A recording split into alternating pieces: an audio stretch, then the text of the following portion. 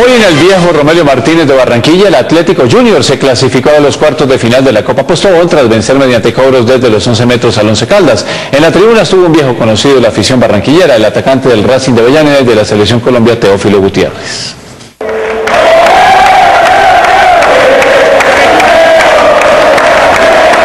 Hoy regresó al estadio Romelio Martínez el ídolo de Barranquilla Teófilo Gutiérrez, con el fin de alentar al equipo del cual es hincha, el Junior. Contento de venir otra vez a Barranquilla, de, apoyar a compañeros. El delantero que juega con el Racing de Argentina que se convirtió en el goleador del fútbol de ese país hizo parte de la nómina de la selección Colombia que participó en la Copa América. Siempre voy a dar por mi país y bueno, espero estar en muchas más convocatorias para poder jugar y demostrar, ¿no?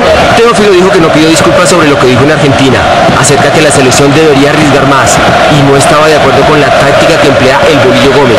No, no fueron disculpas porque no dije nada malo, ¿no? Dije una, palabra autocrítica y que no afecta a ninguno de mis compañeros ni al cuerpo técnico. Sin embargo, quedó tranquilo porque lo que expresó fue lo que sintió en ese momento. No, es muy duro, ¿no? Uno siempre quiere jugar más siendo goleador del fútbol argentino y que bueno, eh, los que estaban de la mejor manera y hay que seguir adelante.